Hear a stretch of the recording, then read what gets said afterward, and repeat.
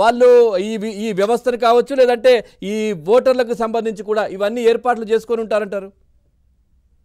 ఇది ఇది టోటల్గా ఈ ఎలక్షన్ కమిషన్ వ్యవస్థ లోపమే కింద మనం చూసుకోవాలి కానీ సార్ ఓటర్లు తమ ఓటు ఉందా లేదా అని ప్రతిరోజు చెక్ చేసుకునే అవకాశమే లేదండి.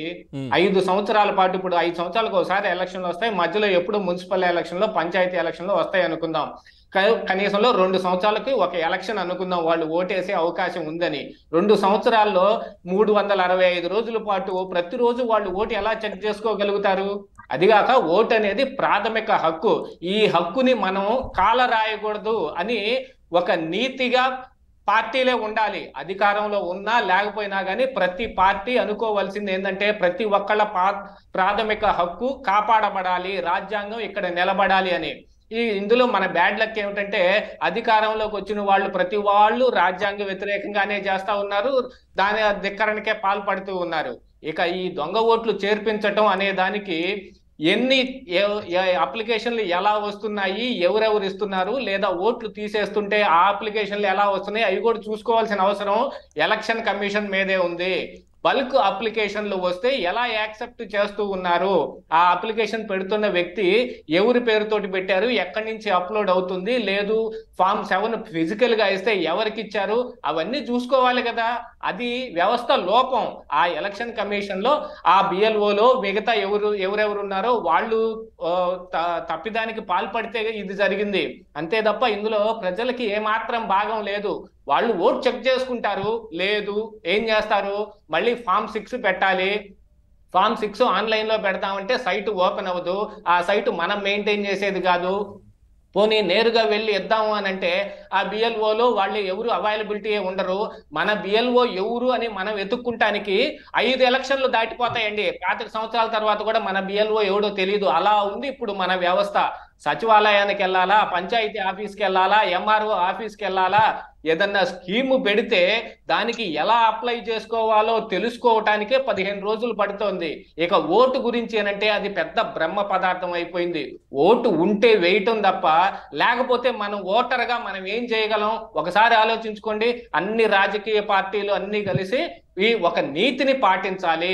ఆ నీతి తప్పారు కాబట్టి ఇప్పుడు ఇలాంటి పరిస్థితి వచ్చింది. ఇలాంటి నీతి తప్పితే ఏం చెయ్యాలి అనేది వ్యవస్థలో దానికి కర్రుగాల్చి వాత పెట్టినట్టుగా దానికి కూడా కొన్ని సూత్రాలు ఉండాలి. ఆ సూత్రాలు అంటే అవి లేకపోవటం మూలాన వ్యవస్థ లోపం ఉంది. ఆ వ్యవస్థ లోపాన్ని ఎలా సరిచెయ్యాలి అని రేపు ఇప్పుడు విపక్షంలో ఉన్న పార్టీ లేదన్న అధికారంలోకి వస్తే ఆ అధికారంలోకి వచ్చిన తర్వాత వాళ్ళు ఈ దీని దిశగా ఆలోచించాలి. కానీ ఆ రోజు ఏం చేస్తారు? వాళ్ళు వాళ్ళ తరపు ఓటర్లు ఎలా పెట్టుకోవాలి? వాళ్ళు మిగతా వాళ్ళ ఓట్లు ఎలా తీసేయాలని ఆలోచించడంలో వాళ్ళకి అయిపోతుంది అంటే ఇక్కడ కేవలం ఓటరు నిమిత్త మాత్రుడే అయ్యాడు. ఓటు చెక్ చేసుకున్నా కూడా అతను తిరిగి ఓటు పొందటానికి ఎంత కష్టమైన మ్యాటర్? ఇప్పుడు ఒకసారి ఆలోచించుకోండి. ఈ దీన్ని బట్టి చూస్తేనే మనకు అర్థమైపోతుంది కదా మన ప్రాథమిక హక్కుల్ని కాపాడాల్సింది అధికారంలో ఉన్న వాళ్ళు లేదా వాళ్ళని విభేదించే విపక్షాలు. ఎందుకంటే రాజకీయం ప్రజాసేవ కోసం చేయటానికే వచ్చారు కదా. వాళ్ళ పనే ప్రజాసేవ కదా. మాకు ఈ సేవ కూడా చేసి పెట్టండి. మా హక్కులని మాకు కల్పించే సేవని విపక్షాలు కూడా వాళ్ళు తీసుకొని చెయ్యాలి. సంవత్సరం కిందట గురవకొండలో ఈ ఉదంతం మీద పోరాడుతుంటే సంవత్సరం తర్వాత ఇద్దరిని సస్పెండ్ చేశారు. ఇప్పటికి ఆ ఓట్లు తీసేశారో లేదో కూడా తెలియదు ఆ చేర్పించిన ఓట్లన్నింటినీ ఏం చేశారో? లేదు తీసేసిన ఓట్లని మళ్ళీ పెట్టడానికి ఏం చర్యలు తీసుకున్నారో కూడా తెలియదు ఇక చూస్తేనే ఎలక్షన్లు వచ్చి నెత్తి మీద కూర్చున్నాయి. ఈ తొమ్మిది నెలల్లో అదే సక్రమంగా ముందస్తు రాకుండా టైంకే ఎలక్షన్లకు వెళ్తే తొమ్మిది నెలల్లో ఏం చేయగలరు విపక్షాలు అని అంటే ఏమీ చేయలేని చేతులు ఎత్తేసిన పరిస్థితిలోనే ఉంది. కానీ ఏం చెయ్యాలని వాళ్ళు కూడా ఆలోచించుకోవాలిగా. ఎలక్షన్లు వచ్చాయి. మనం కొంత డబ్బు ఖర్చు పెట్టాము. కొంతమందిని నిలబెట్టాము. పోటీ చేశాము. ప్రజలు ఓట్లు వేస్తున్నారు ఆ గెలు గెలిస్తే అధికారంలోకి వెళ్తాము అన్నట్టు కాదు. వ్యవస్థల పట్ల విపక్షాలకు కూడా వాళ్ళ వాళ్ళకు కూడా ఓ మంచి అవగాహన కల్పించుకోవాలి. ఓటరు ఓటు చెక్ చేసుకునే అవకాశమే లేదు. ఇప్పుడు ప్రస్తుతం మనకున్న దాని లెక్క ప్రకారంగా చూసుకుంటే వాళ్ళకి ఎంత విజ్ఞానం కల్పించినప్పటికీ కూడా వాళ్ళు తిరిగి వెళ్ళి ఎక్కడ అప్లై చేసుకోవాలి అని అంటే మళ్ళీ అదే వ్యవస్థ దగ్గరికి వెళ్ళాలి. అసలు లోపం వ్యవస్థలో ఉంది. ఆ వ్యవస్థని సరి చేస్తే తప్ప మన ఓటు మనకుండదు మన ప్రాథమిక హక్కు మనకుండదు. పోలీస్ స్టేషన్కి వెళ్ళినా కూడా ఏం చేస్తామండి? వాళ్ళు హ్యూమన్ రైట్స్ని కాల్ రాసి అవతల పడేస్తే అంతమంది దళితుల మీద మిగతా వాళ్ళందరి మీద దాడులు చేస్తే మాత్రం మనం ఏం చేయగలిగాం? నాలుగు డిబేట్లు పెట్టుకొని మాట్లాడగలుగుతున్నాం. ఇది తప్పు బాబోయ్ అని అరిచి గోల పెడుతున్నాం. పోలీసులు వచ్చి తంతే మనం కూడా తన్నులు తింటున్నాం. ఇంత తప్ప మనం ఏం చేస్తారు. సామాన్యులు ఏం చేయాలి? ఇప్పుడు ఓటు లేదనుకోండి ఏం చేయాలి ఆయన? ఏం చెయ్యాలి? అదే క్వశ్చన్ అడుగుతున్నానండి. ఒక నా ఓటు పోయింది నేను వెళ్ళి అప్లికేషన్ పెట్టుకోవాలి ఫామ్ సిక్స్ ఇవ్వాలి. ఆ అది అవగాహన కల్పించారు నేను ఫామ్ సిక్స్ రాస్తాను. నాకు ఓటు ఇవ్వలేదు. తర్వాత ఏం చేయాలి కోర్టుకు వెళ్ళాలా కోర్టుకు వెళ్ళగలిగిన పరిస్థితుల్లో ఉన్నామా? ఎలక్షన్ కమిషనర్ దొరుకుతాడా మనకి? అసలు మనకి బూత్ లెవెల్ ఆఫీసర్ ఎవడోనే మనకి తెలియని పరిస్థితుల్లో ఉంది ఇప్పుడు. ఎందుకంటే వీళ్ళకి ఎలక్షన్ కమిషన్కి స్వయంగా వాళ్ళకి ఈ వ్యవస్థలో వాళ్ళకి అధికారులు కానీ మిగతాది కింద స్థాయి ఇది లేకపోవటం మూలాన గవర్నమెంట్ ఎవరిని ఇస్తే వాళ్ళకి తీసుకోవాల్సిన పరిస్థితి ఏర్పడింది.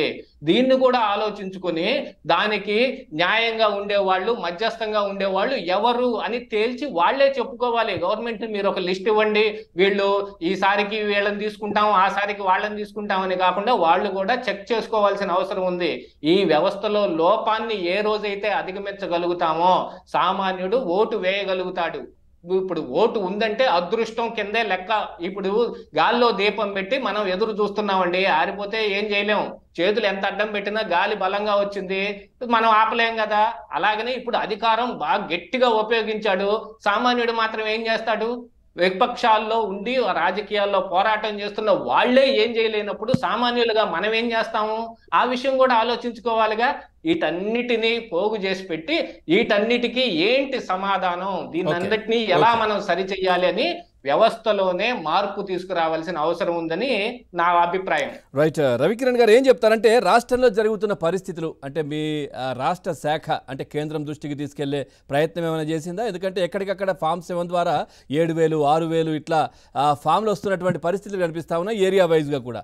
ఇన్ని కుప్పలు తిప్పలుగా రావడం ఎట్లా చూస్తారు? మీ కేంద్ర నాయకత్వానికి తర్వాత మీ పార్టీ తరపున ఈసీకి ఏమైనా కంప్లైంట్ చేస్తున్నారా? ఏం చేస్తారు?